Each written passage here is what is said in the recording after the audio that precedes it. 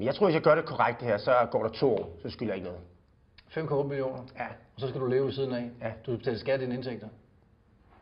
Ja, det, den er jeg så ikke lige regnet med, men uden skat har jeg regnet på to år. Så lad os stoppe det, til fire år. Så. det skal du nok regne med, at du betaler skat. Så lad os sige fire år. Fire år, så er du ud af det. Ja. Ja. Ah, ah det tror jeg næppe.